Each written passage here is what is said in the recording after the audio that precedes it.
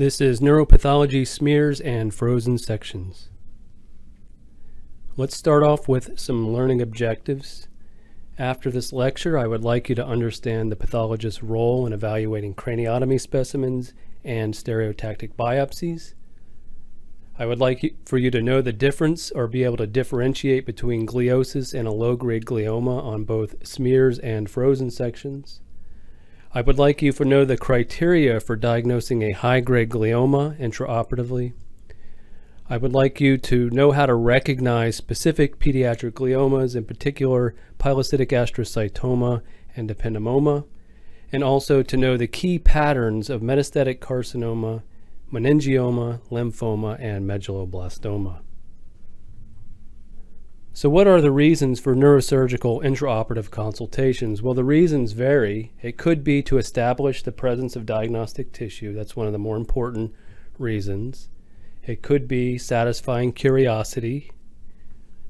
It could be for providing a preliminary diagnosis for the family and patient or using that preliminary diagnosis to help set up appointments with radiation oncology and neuro-oncology and so on or it may be for the purposes of triaging the tissue in, in the event that additional studies are necessary, such as flow cytometry, molecular studies, and cultures. So for craniotomy specimens, the neurosurgeon is generally confirming that the lesion is what they think it is. They generally have a good idea based on radiology. And in most cases, what we say does not change the surgery. So whether it's a metastatic carcinoma or high-grade glioma, metastatic melanoma, any, any number of tumor types, the goal for them is a gross total resection. What diagnosis may change the procedure is hematopoietic lesions or non-neoplastic lesions that they thought were tumors. So if it turned out to be an abscess, they wouldn't have to do a gross total resection. If it's lymphoma, they don't have to do a gross total resection, etc. But for the vast majority of tumor types that we see, what we say doesn't change the surgery. So if you're not sure, you just say malignant epithelial neoplasm or malignant glioma, etc. For stereotactic biopsies in general, they're making sure that they're in the lesion and that diagnostic tissue is present. You don't have to have a specific diagnosis. You just need to make sure that what you're saying or what you think it is correlates with radiology. So for a stereotactic biopsy, a specific diagnosis is not necessary, but rather you want to communicate to the neurosurgeon that what you see jives with what they think it is or what the radiologist thinks that the tumor is and that they correlate. For example, if you saw a tumor and it looked like a low-grade glioma, but radiologically it was a ring-enhancing lesion, even though it's lesional, it's not necessarily diagnostic because it doesn't correlate with the imaging. Another important point when you receive a specimen from a neurosurgeon, always assume that you may not get additional material. So do not, in general, freeze all of the tissue unless the tissue doesn't have a lesion in it and you have to sample it further. You want to maintain some non-frozen tissue because the process of freezing will introduce artifacts and also the tissue that you freeze is often lost or at least some of it is lost after tissue processing. Now on to techniques and the advantages and disadvantages of each of these two techniques. For the intraoperative assessment of a brain tumor, essentially you have two tools, smears and frozen sections. Some places will do smears only, while others will do frozen sections only, but most neuropathologists use a combination of both smears and frozen sections. So what are the advantages of doing smears? The principal advantage is that it provides vastly superior cytologic detail. It's fast and it consumes very little tissue. In fact, it doesn't take much tissue to get a good smear. The disadvantage is that it's a small sample size, so sampling could be an issue. The tissue is spent in the sense that once you smear that tissue, there's not much else you can do with it. You can't do IHC, you can't do molecular studies.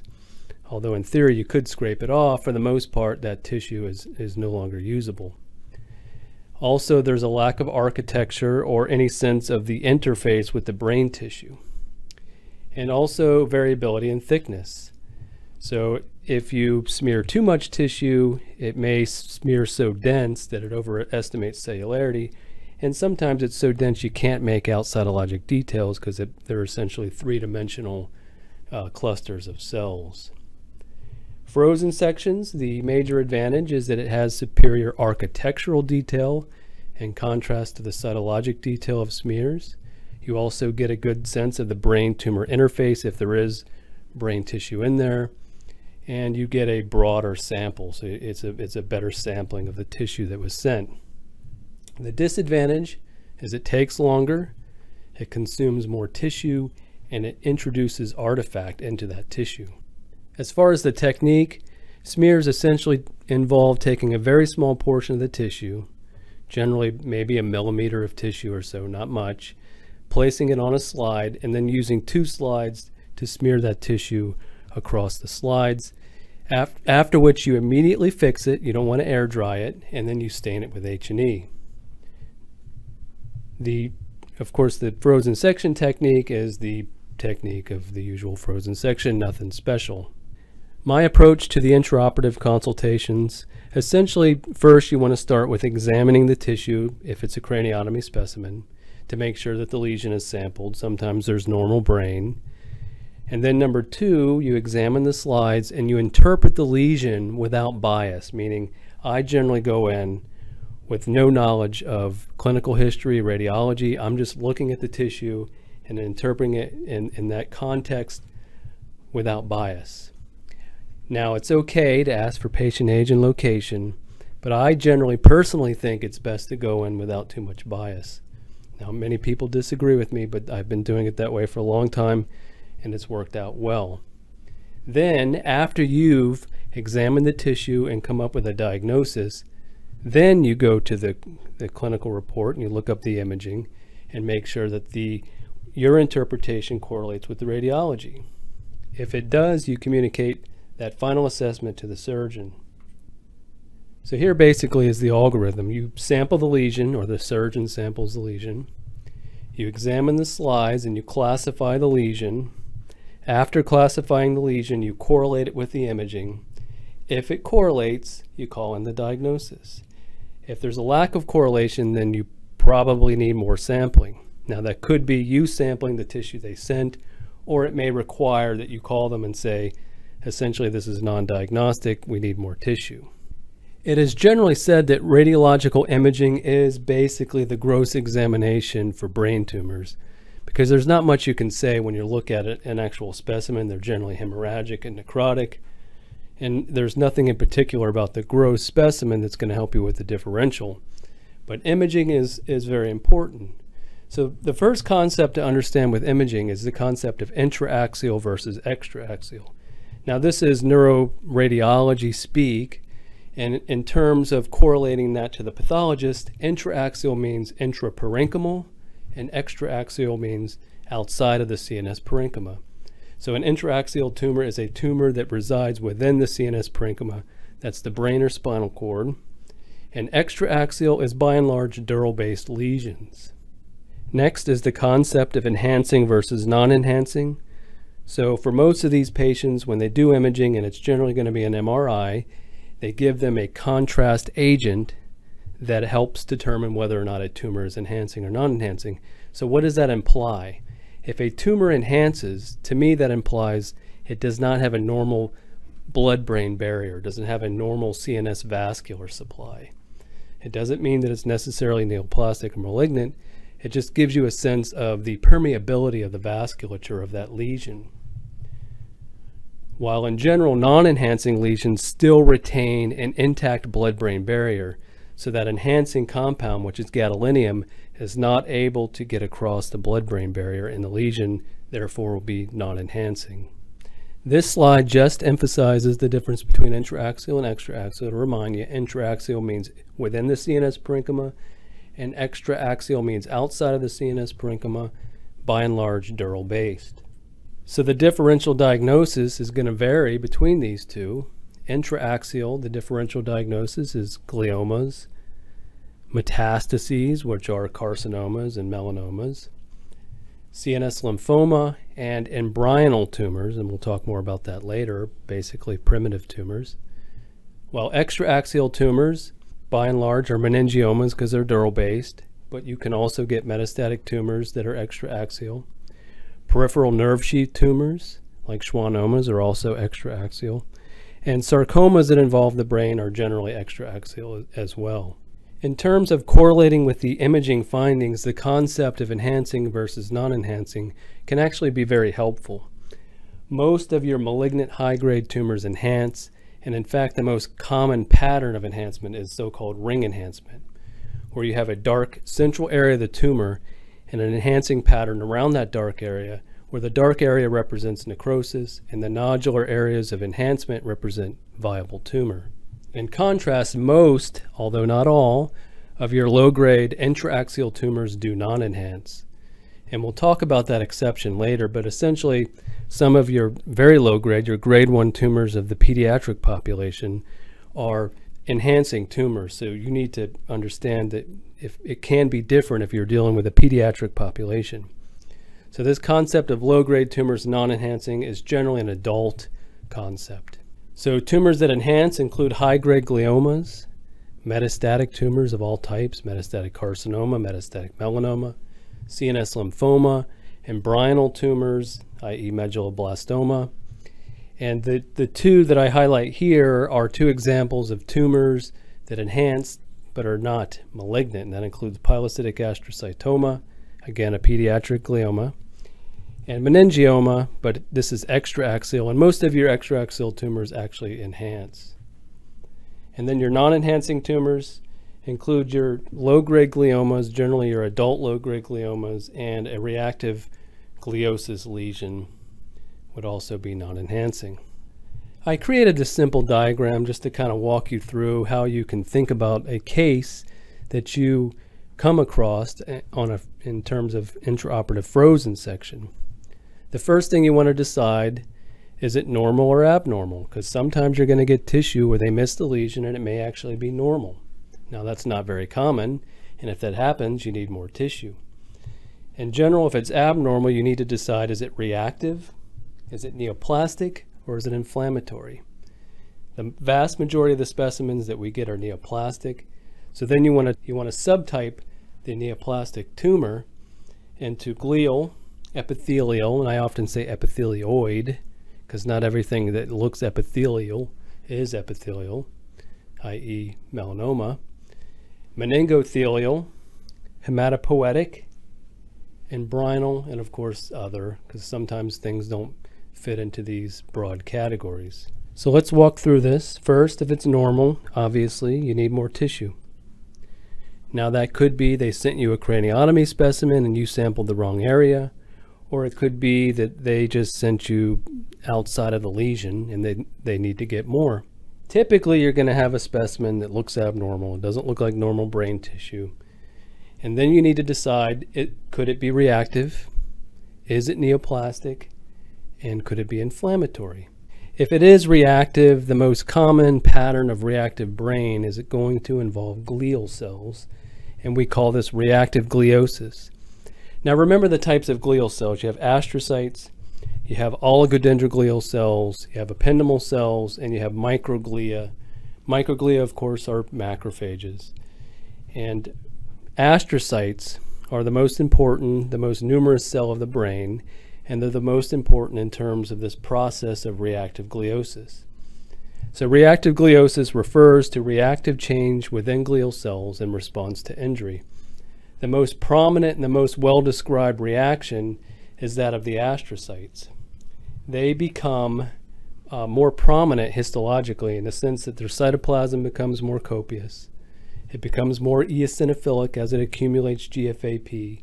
And you'll often see their little processes ex extending to the capillaries because they're in there to try to help form this blood-brain barrier, maintain that barrier against external threats. So with reactive gliosis, you may see an increase in the number of glial cells, but if they are increased, causing this mild in increase in cellularity, they still tend to be relatively uniform in their spacing, meaning they don't crowd together. And if, if they are causing an increase in cellularity, it's mild at most. So here's a smear, and this smear shows a typical pattern of, of gliosis. So the cellularity is a little elevated. It's more than you would typically see in normal brain. But what stands out are these cells, like you can see here in the middle, and a couple over here. These are reactive astrocytes. Notice that they have much more copious cytoplasm, this pink cytoplasm, and you can make out the little processes that are being extended to capillaries, helping to maintain the blood-brain barrier. Also notice the nuclear details. They tend to have nice uniform nuclear membranes. The chromatin's not dark, it's not coarse or clumpy. It tends to have, have relatively light staining nucleus. And again, abundant eosinophilic cytoplasm and even spacing. Even on a smear, they tend to be relatively spaced out. Now we move from reactive to neoplastic and we'll walk through our differential diagnosis by looking at each of the cell types. By far the most common primary brain tumor is going to be a glioma. And so these are tumors that derive from glial cells or their precursors. So remember your main types of glial cells. You have astrocytes, oligodendrocytes, ependymal cells, and microglia. I put microglia in red once again because they are macrophages and they do not form tumors within the brain, or at least not any sort of common tumor. So most of the gliomas that you're going to see derive from astrocytes, oligodendrocytes, or ependymal cells. And they form astrocytomas, oligodendrogliomas, and ependymomas. So again, your main categories of glioma, astrocytoma, oligodendroglioma, ependymoma, and there are mixed gliomas, but these have fallen out of favor, so I would kind of let that go. And so let's talk a little bit more about glioma subtypes. So first, I would say you have to look at it in terms of adults versus children because the more common tumor types are very different in these two. And adults, the vast majority of the gliomas are going to be of the infiltrative type. In other words, they permeate the brain and they're generally of astrocytic or oligodendroglial origin. Astrocytic origin is most common, but uh, you will run into many cases of oligodendroglial origin. And here's a key point with these gliomas. You do not need to differentiate between an astrocytoma in, in terms of infiltrating astrocytoma and an oligodendroglioma intraoperatively. Number one, it's very hard to do. Number two, it doesn't matter. So when you're looking at a, an adult glioma, you're just number one, establishing it as a glioma, and number two, deciding whether it's low grade or high grade. For children, most of the tumors fit into what is generally called circumscribed, or i.e. less infiltrative origin, and they're generally of astrocytic or ependymal origin histologically. These need to be recognized and subtyped intraoperatively if you can, because you need to let the surgeon know they need to excise the lesion. Because for these two tumor types that we'll talk about, which is pilocytic astrocytoma and ependymoma, complete excision is the most important prognostic factor. So in terms of intraoperative diagnosis, the two most common glioma diagnoses that you'll give for an adult is going to be high-grade glioma, low-grade glioma. Now, occasionally you'll just say glioma where you're not sure and give pertinent negatives. So you may say glioma, no evidence of necrosis or vascular proliferation. But in general, if you're able to correlate with the radiology, you can be specific and say high-grade glioma or low-grade glioma. For children, the most common glioma is going to be a pilocytic, pilocytic astrocytoma, then ependymoma. But they can get, of course, diffuse gliomas. So you can make a diagnosis of low-grade glioma or high-grade glioma. Sometimes it's difficult to distinguish between a pilocytic and a low-grade glioma of the diffuse type or infiltrative type. And you can just give a diagnosis of low-grade glioma, but they're probably going to ask you whether or not you think that it's an ependymoma or pilocytic astrocytoma. And if you can't tell, then you just have to defer the diagnosis to permanents. Before we move on, let's talk a little bit more about the difference between normal, reactive, and a glioma, and in particular low-grade glioma, because that can be difficult in some cases. What I would say is that from a histologic perspective, there is an overlap between normal and reactive brain. And on the other end of the spectrum, there is also an overlap histologically between reactive gliosis and a low-grade glioma. So if you put these together, you'll notice the most important factor is cellularity. And I would also throw in there cytologic details and nuclear atypia and so on, but that can be deceiving. So cellularity is probably one of the most key features of determining whether or not you're dealing with normal brain, reactive brain, or a low-grade glioma. In some cases, you're right on the fence between a pattern of reactive gliosis and low-grade glioma, essentially a situation where it's hard to tell whether or not it's a low-grade glioma definitively. And the most common diagnosis that you can give is mildly hypercellular brain tissue or mildly hypercellular glial tissue, and then tell them the differential includes gliosis versus a low-grade glioma. And the only way to di distinguish between these two is immunohistochemistry, molecular studies, and those sorts of things. But I find in the vast majority of cases, you can distinguish gliosis from a low-grade glioma. And let's run through some of the features that help you distinguish these two. And we'll first start with the pattern that you're going to see on the smears. These two images represent smears. On the top is a smear of a case that turned out to be reactive gliosis. And on the bottom, a smear of a low-grade glioma. Notice the difference between the two. Notice how the reactive brain spreads out in a much different pattern than the low-grade glioma. I always say it has a sort of a diffuse pink appearance to it, especially if you look at the slide grossly.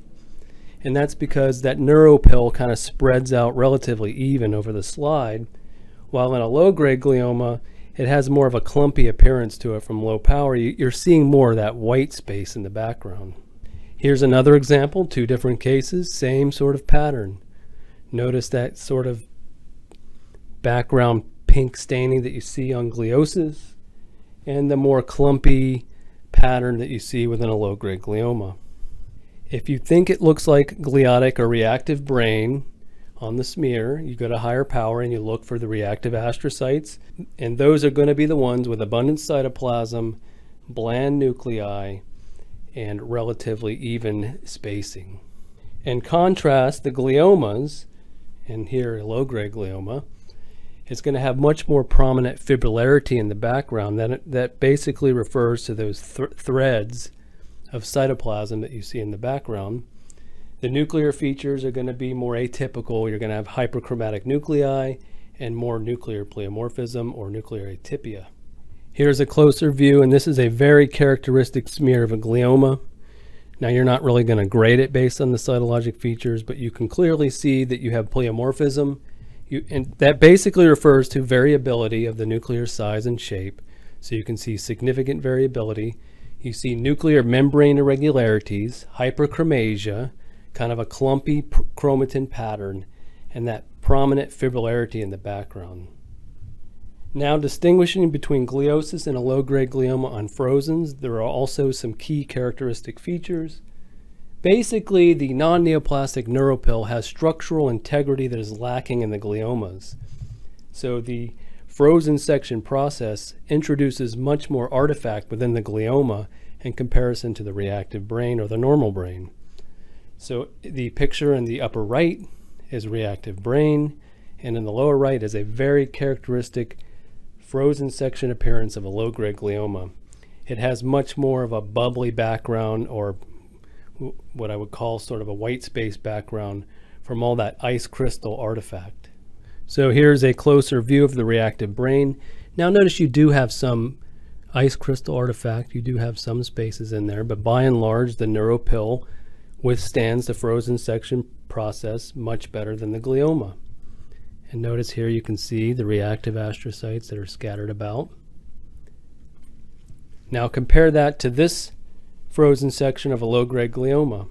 The cellularity is higher, there's much more ice crystal artifact, and if you imagine taking away all that ice crystal artifact, those cells would come even closer together. So oftentimes you're actually underestimating the actual cellularity of the lesion because of the ice crystal artifact. Here are three more examples of the typical background that you're going to see on low-grade gliomas. I would say the two on the left are more characteristic. The one on the right might be slightly more challenging. But if you combine that frozen section pattern of ice crystal artifact with the pattern that you're going to see on the smears, you can be pretty accurate at making a diagnosis of a low-grade glioma. Diagnosing a high-grade glioma, high-grade gliomas tend to be more cellular, more pleomorphic, and mitotically active. However, you cannot use cellularity, cytology, or even mitotic figures to make an accurate diagnosis of a high-grade glioma. You generally have to have either necrosis or vascular proliferation. I would say necrosis is the more reliable feature, but vascular proliferation also suffices, but you have to take caution. Let's look at the smear difference between a high-grade glioma on the top and a low-grade glioma on the bottom. The main difference is cellularity. A higher magnification view, you're going to see both increased cellularity, increased atypia, increased hyperchromasia in comparison to the low-grade glioma. But again, these features are not enough you need to find necrosis. Necrosis in gliomas should appear as coagulative necrosis, meaning that you should see the ghost-like outlines of the dead cells. This, is, this can be seen on smears, but it's a little more difficult. And in my opinion, it's best evaluated on the frozen sections. The more common pitfall that I've seen for non-neuropathologists in this setting is interpreting neuropil as necrosis because on a frozen section it has that kind of amorphous pink appearance to it. But if you look at it at higher magnification, you're not going to see the ghost-like outlines of the cells. Although I don't have pictures of it, another potential pitfall is seeing fibrin associated with blood, which has that amorphous pink appearance to it, and interpreting that as necrosis. But generally, fibrin is going to have more of a filamentous appearance, and you're not going to see the coagulative ghost-like appearance of the dead cells. So here's necrosis on the top, and you can make out what looks like it used to be a cell. Many of these rounded structures, these are the ghosts of the dead cells. This is coagulative tumor necrosis, and this is neuropil. Notice that you can still see viable nuclei in here, while in the necrosis, you're not going to see that many obviously viable nuclei. So the concept of vascular proliferation in gliomas is another one that's commonly misunderstood for the non-neuropathologist. It does not refer to an increased number of blood vessels, but rather a tufted glomeruloid-like appearance to the blood vessels. And I would say probably the best definition is a multi-layering of endothelial cells around a vascular lumen. I would say to be cautious in making an interpretation of vascular proliferation on a smear because if you put on a smear too thick, you're going to get an artifactual sense of vascular proliferation. So I would say in general, I use the smear to establish it, that the lesion is a glioma, and I use the frozen sections to look for the high-grade features, namely necrosis and vascular proliferation. So this is a smear of a glioma. This did turn out to be vascular endothelial proliferation, but again, I would not rely on this appearance on the smear alone. Higher power view, you can clearly make out that it looks like a blood vessel, but there are more nuclei than you would typically expect. Remember, most of your blood vessels in brain are going to be thin capillaries with a single endothelial cell. Here's a permanent section showing the typical appearance of vascular proliferation. Notice that it's a tufting. So here you can see what looks like blood vessels. You've got red blood cells in the middle, and as it moves into this area of vascular proliferation, it has a much more of a tufted appearance. And if you find the red blood cells, you'll see that there's circumferential multilayering of cells, many of which are endothelial cells, but you also may have tumor cells mixed in. Here is a caveat for both vascular proliferation and necrosis. Pilocytic astrocytoma, which is the most common glioma in children, can have both vascular proliferation and necrosis and still be a grade 1 tumor. So it's a pitfall. So if you're looking at a pediatric brain tumor and its posterior fossa, and you see vascular proliferation and necrosis before you make a diagnosis of high-grade glioma, make sure you're not dealing with a pilocytic astrocytoma. And I'll show you some pictures later to help you with that differential. So for adult brain tumors, you're essentially just establishing a diagnosis of glioma, determining whether it's high grade or low grade. You don't even have to commit to grade if you don't feel comfortable. You could just say glioma. But for pediatric tumors, you do want to try to recognize the particular subtypes of glioma that have surgical implications. And that is pilocytic astrocytoma and ependymoma. So let's start with pilocytic astrocytoma. These are generally tumors of childhood. They can occur in adults, but by and large, you're going to see them in children. They're most commonly located in the cerebellum, which is the posterior fossa. Classically, they're cystic with an enhancing mural nodule. Not all of them have that classic appearance, but they do by and large enhance because they have an abnormal blood supply. As we had mentioned, they can have vascular proliferation and those sorts of things. So they do allow the gadolinium to get into the lesion, producing contrast enhancement. You need to recognize these because the most important prognostic factor is going to be a complete resection. In fact, a complete resection can be curative. What are the key features when you're evaluating these intraoperatively? On the smears, they have a very prominent hair-like processes, which is why the pilo part of the name comes in. It's the same fibrillary process that you see in adult gliomas, but it tends to be much more prominent. But probably the more reliable feature is going to be the presence of Rosenthal fibers, and I'll show you some pictures in a moment. And then on the frozen sections, the key features is going to be the biphasic growth pattern, meaning you're going to have loose areas and compact areas. Here's a smear of a pilocytic astrocytoma. It's hypercellular, it smears like a glioma. From this magnification, you couldn't tell this from an adult glioma, a low-grade glioma or high-grade glioma. All I could say is it looks like a glioma. On higher power examination, again, very prominent fibrillar processes. You can see them coursing throughout the lesion. That feature can be seen in, a, an adult diffuse glioma and in a pilocytic astrocytoma.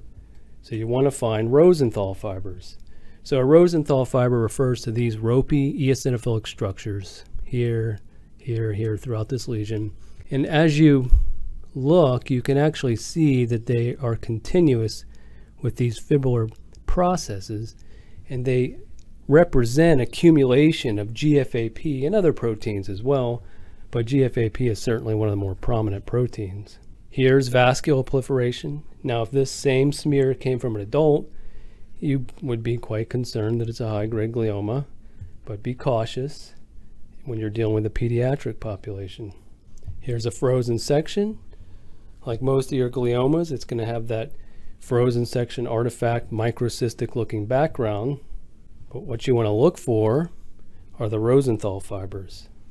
I would say Rosenthal fibers are a key feature, but be, be aware that Rosenthal fibers by themselves are not specific to a pilocytic astrocytoma.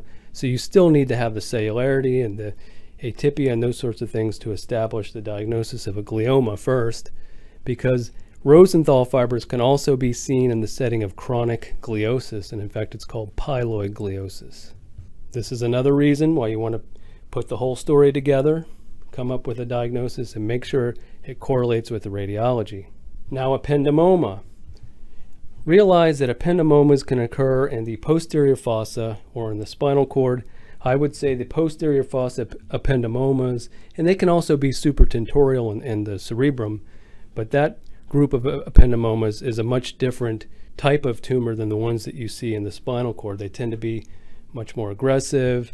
They're more likely to have drop metastases and those sorts of things. When you're dealing with this pediatric population of ependymoma, they by and large arise most commonly in the posterior fossa. Less common uh, location would be again in the cerebrum, so supratentorial. But we're going to focus here on the posterior fossa example because it's the most common. Imaging shows a circumscribed lesion with varying degrees of enhancement, but generally they're going to have some level of enhancement. And you need to try to recognize these intraoperatively because the surgeon should try to perform a gross total resection or a complete excision because that can be curative. Key features of ependymoma on smears, it looks like a glioma. It's got increased cellularity. It may have some glial processes, but it tend not to be nearly as, as prominent as you'll see in a pilocytic astrocytoma or even a, in a diffuse astrocytoma. And they tend to collect around blood vessels, although on smears, that may be a difficult one to appreciate. The key to me is on frozen sections.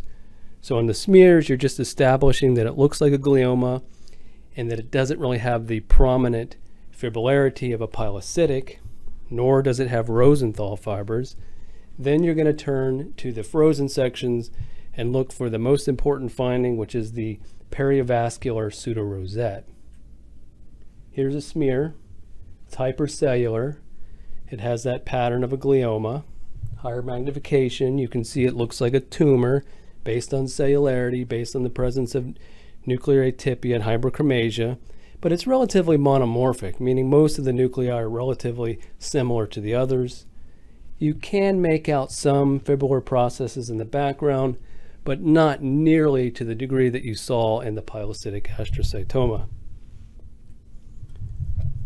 The key feature is on the frozen section. Now, I would say looking at this, what I see is an irregular distribution of tumor cell nuclei, meaning you have more hypocellular, hypercellular areas and less cellular areas, i.e. areas with less nuclei, and those less cellular areas tend to have a blood vessel in the center. I have some better images. Here's another example. Notice that its, its distribution is not even. It's hard to make out pseudorosettes here, but that irregular distribution pattern is, is one clue. Another clue is you may see an ependymal lining, so you know that it's growing near the ependyma. And here's a good example of perivascular pseudorosettes. So why are they pseudorosettes? A rosette generally refers to a structure, a lumen that is formed by tumor cells. And that might be a true rosette, like a Flexner-Wintersteiner rosette that you'll see in retinoblastomas. Or you may see Homer-Wright rosettes uh, in, in neuroblastoma, or even medulloblastoma. These are pseudorosettes because the luminal structure in the middle is not formed by the blood by the uh, tumor cells, but is rather just a blood vessel. So this is a key characteristic feature of these tumors. You can see the blood vessel in the middle, the anuclear zone around it, and then the areas of hypercellularity. This is very characteristic in this setting for an ependymoma. Here's a higher power view. Now you'll notice, especially if you do a GFAP stain, that the tumor cells are sending processes to the blood vessel. And for whatever reason, they tend to maintain this distance between the nucleus and the actual blood vessel, producing the perivascular pseudorosette. Now let's move on from glial tumors to epithelial tumors. And again, you can use a more generic term of epithelioid as opposed to epithelial, but by and large what we're dealing with here are metastatic carcinomas. These are probably as common, if not more common, than primary CNS tumors. I would say, generally speaking, in an academic practice, that it's roughly 50-50, somewhere in that range. 50% primary brain tumors, 50% metastatic tumors. But as we know, many patients with known primaries and obvious brain metastases are probably not going to get surgery and probably not going to have a pathology specimen. But from our perspective, roughly 50 50. And these can be non small cell or small cell. They may be adenocarcinomas and these sorts of things. But in general, intraoperatively, you don't really need to differentiate between an adeno and a squamous cell carcinoma and a small cell. If you feel confident, fine. But by and large, the, dis the distinction intraoperatively is not as critical.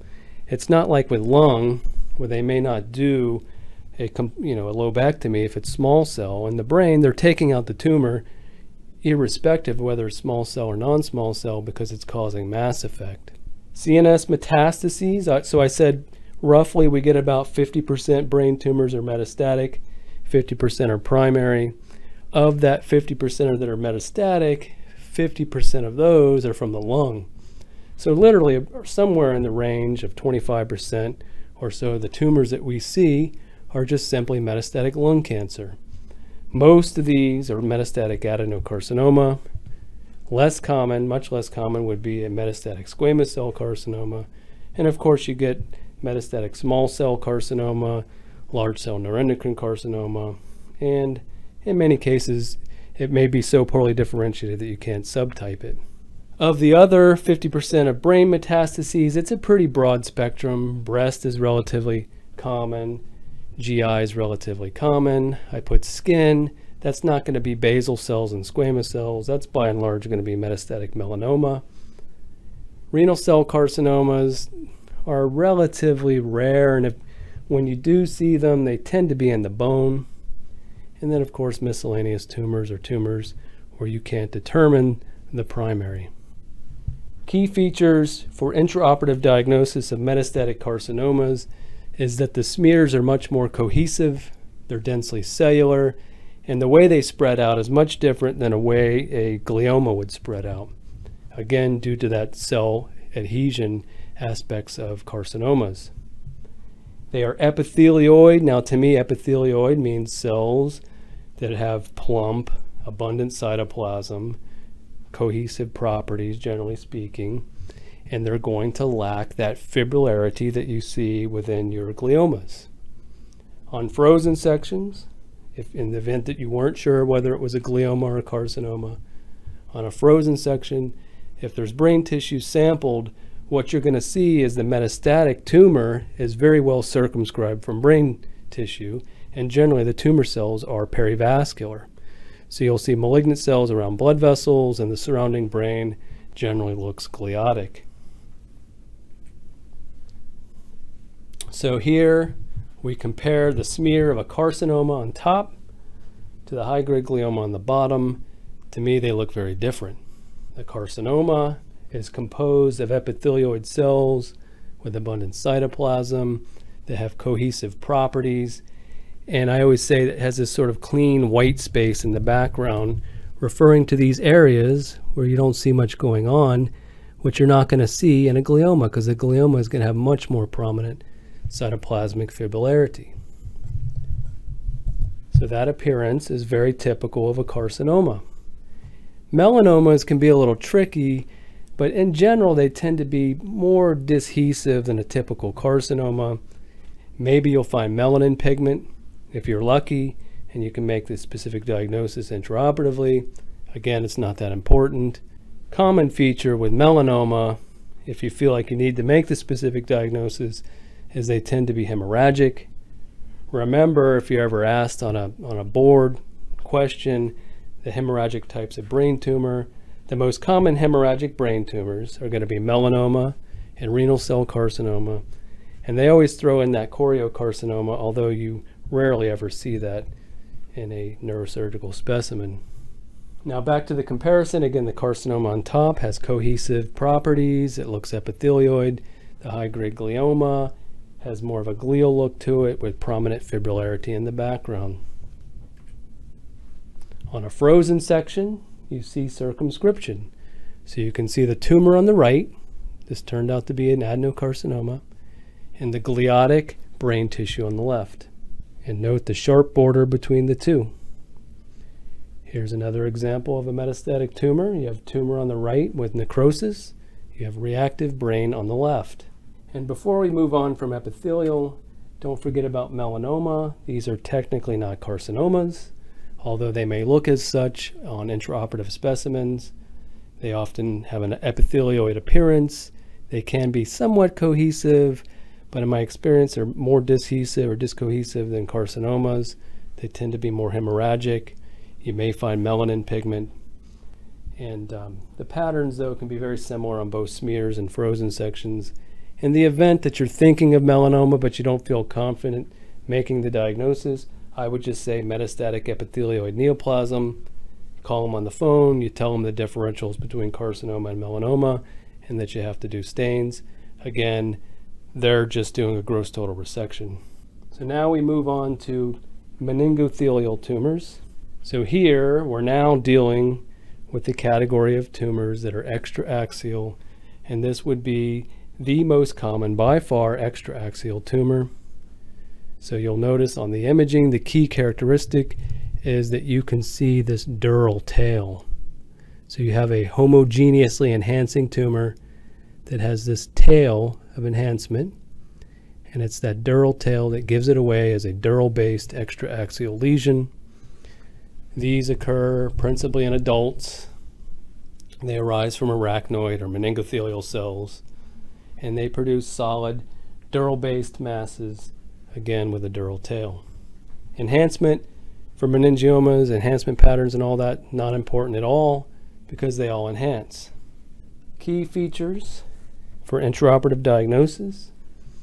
On the smears, you'll see that they're made up of these bland cells. I often say they have football-shaped nuclei. That would be an American football. And they have fine chromatin. They have relatively smooth nuclear membranes you'll see a small little punctate nucleolus or chromocenter.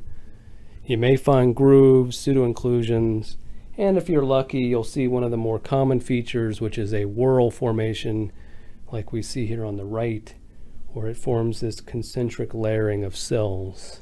Not all meningiomas have it, but when you see it, it's pretty characteristic. On frozen sections, you may see a dural attachment, in general, if you see collagen in a brain tumor, it's probably extraaxial because I can't think of very many intraaxial tumors that have collagen. Again, you may see whorls, and those whorls form these psammomatous calcifications over time, which also have that concentric appearance. Here's a smear of a meningioma. It's hypercellular. It tends not to smear all that well and it has this clumpy appearance to it. From this lower magnification, it would be hard to differentiate this from a glioma, but on higher magnification view, you can see the relatively cohesive nature of the lesion, the lack of fibrillarity around the cells or in between the cells, in these arrangements that we call whorls. Here you can make out again these little whorl-like arrangements of cells.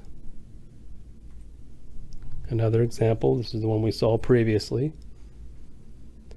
And on frozen sections, here we can see thick blood vessels, collagen. So you know this is an extraaxial tumor. So if you're approaching it like I do, you're not sure what the imaging findings are, this feature by itself is enough to tell you it's extraaxial.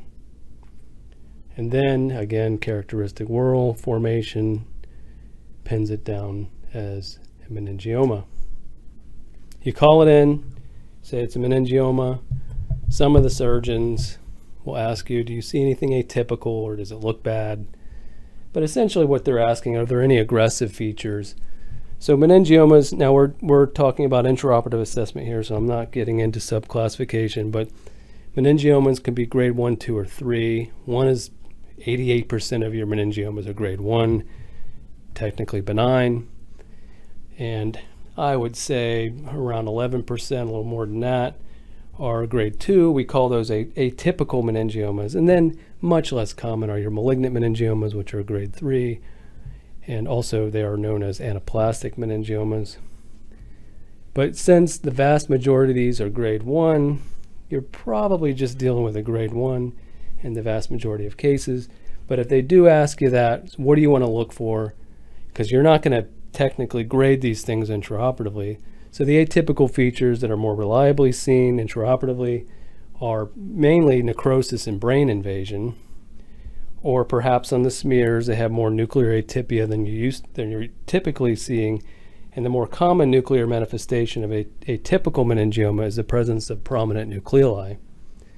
And I threw in here mitotic activity because that is a key thing in grading, but you're generally not going to see them intraoperatively on frozen sections or smears. And in fact, if you do see a mitotic figure on a smear, it's probably going to be a pretty highly mitotically active tumor. So if you see any of those features, you can call it meningioma with atypical features. Does that change their surgery? I think they're more likely to try to get a better negative margin of dura. In fact, they might even send dura for intraoperative assessment for the margin. Here's an example of meningioma. It was relatively bland on the smears, but I found mitotic figures, and it turned out to be an atypical meningioma. Here's an example of necrosis on an intraoperative specimen. You can see on the right coagulative tumor necrosis with ghost cells. You don't tend to see that in grade 1 tumors. It's not sufficient for a diagnosis of atypical meningioma on grade two, on uh, permanent sections, but it's certainly a, a clue that it's going to be one. So you can note that on a frozen. And brain invasion is defined not just by adherent brain tissue, as we can see here, adherent brain tissue with, with gliosis, but rather permeation into the brain around the Virchow-Robin spaces, wrapping around brain tissue, causing a histologic reaction in the brain tissue is enough for a diagnosis of brain invasion, which makes it at a minimum grade 2, so it is an atypical feature that you want to report. Now we move from meningothelial to hematopoietic tumors. This generally just refers to CNS lymphoma. CNS lymphoma occurs in elderly patients, or it could occur in a young patient. If it does, it's usually a clue that they're immunocompromised. It could be HIV. It might be they have a solid or, or an organ transplant and they're immunocompromised from medications. These are going to present as enhancing lesions. They can be single, but characteristically they're multifocal and another characteristic finding is they will shrink and even go away, apparently go away, although they come back after being given corticosteroids. So if a surgeon suspects CNS lymphoma and they're going in for a biopsy, they're not generally going to put them on steroids before the surgery because they may not get diagnostic tissue. The vast majority, I would say, in my experience, it's 99% plus of CNS lymphomas or diffuse large B-cell lymphoma. Over the last, I don't know, five years or so, we've been subtyping these into the germinal center derived versus activated B-cell type. And I have seen one case that was germinal center derived, and that was in a patient with CLL, which we assume underwent Richter transformation. But every other CNS lymphoma that I've seen has been a diffuse large B-cell lymphoma of the activated B cell type.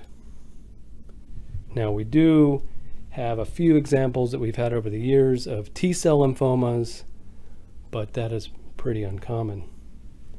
I have also seen a few cases of Hodgkin's lymphoma, but they don't generally present in the brain. The ones that I have seen have been in the, in the dura. And one other note, because I have been asked before, should we do flow cytometry on CNS lymphoma? My answer is it's not necessary because 99 plus percent are diffuse large B cell. They tend not to flow very well.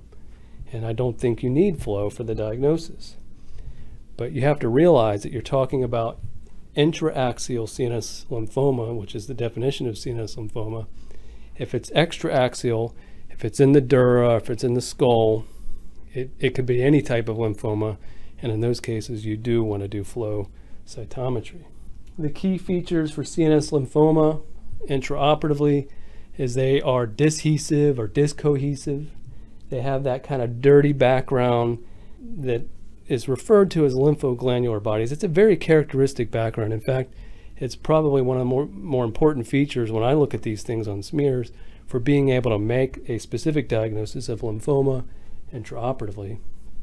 And another common feature in is, is the presence of nuclear crush artifact. So you get nuclear crush artifact in any of your small blue cell tumors, including metastatic small cell or even an embryonal carcinoma, embryonal, excuse me, embryonal neoplasm within pediatric population.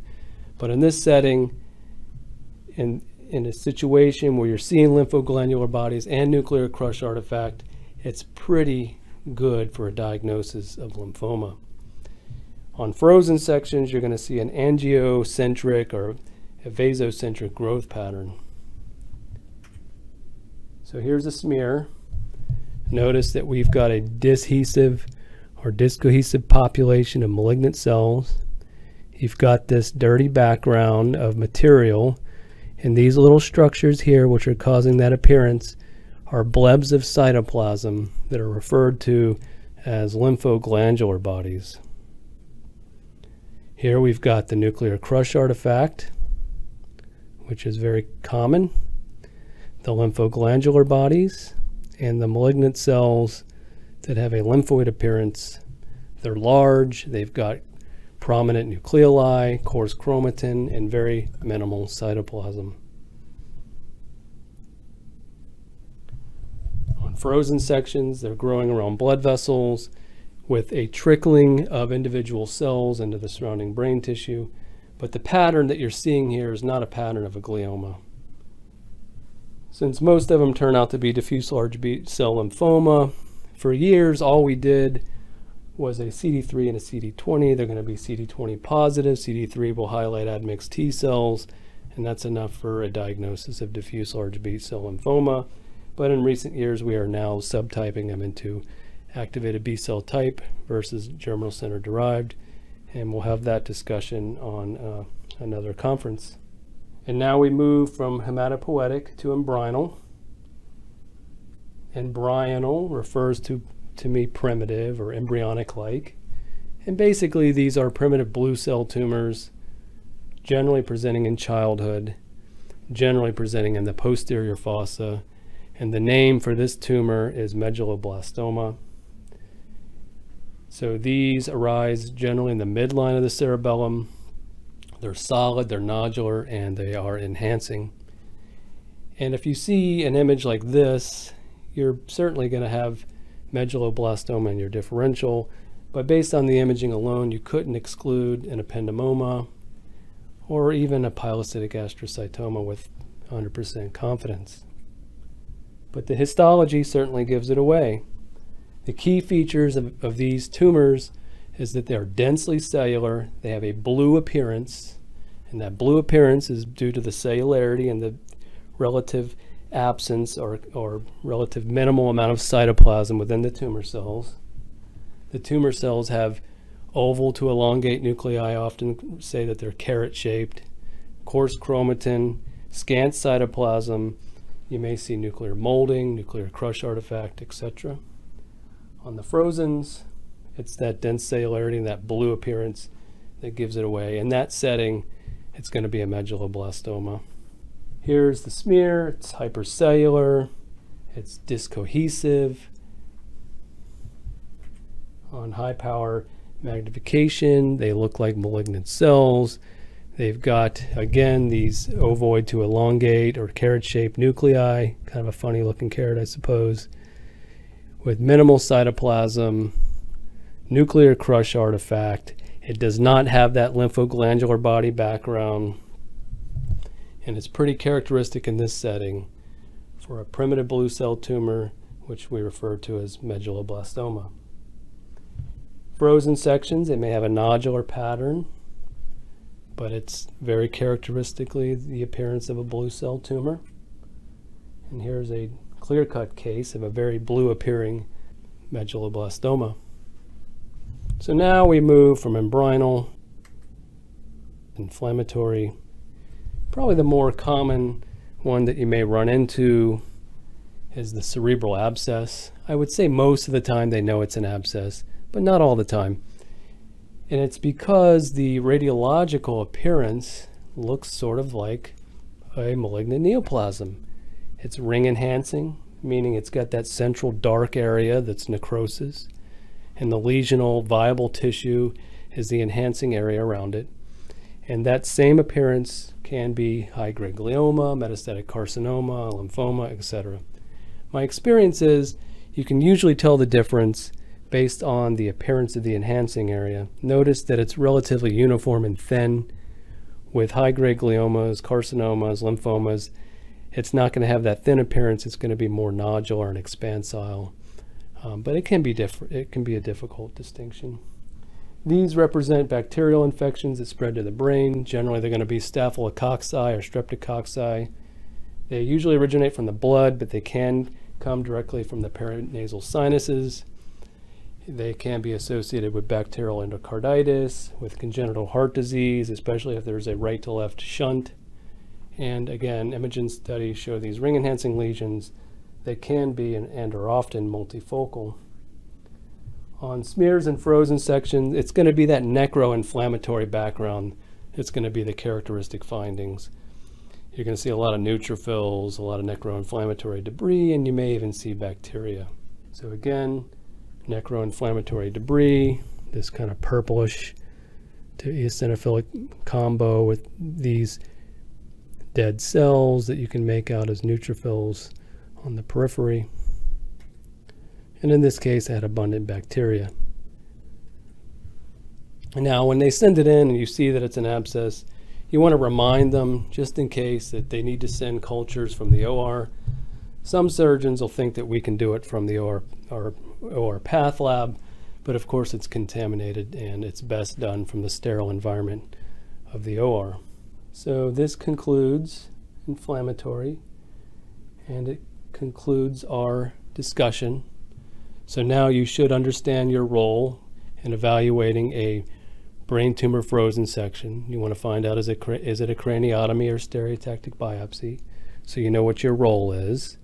Remember, for a craniotomy specimen, the only thing that you're going to see that's really going to change the operation is a hematopoietic neoplasm, lymphoma, plasmacytoma, those sorts of things, or potentially that it's non-neoplastic when they expected it to be a neoplasm. But by and large, for all the other tumor types you're going to see, they're going to try to do a gross total resection. For a stereotactic biopsy, your role is determining that diagnostic tissue is present. You should now know how to differentiate between gliosis and a low-grade glioma based on their characteristic features on smears and frozen sections. You should know the criteria for high-grade glioma intraoperatively, that being coagulative necrosis or vascular proliferation.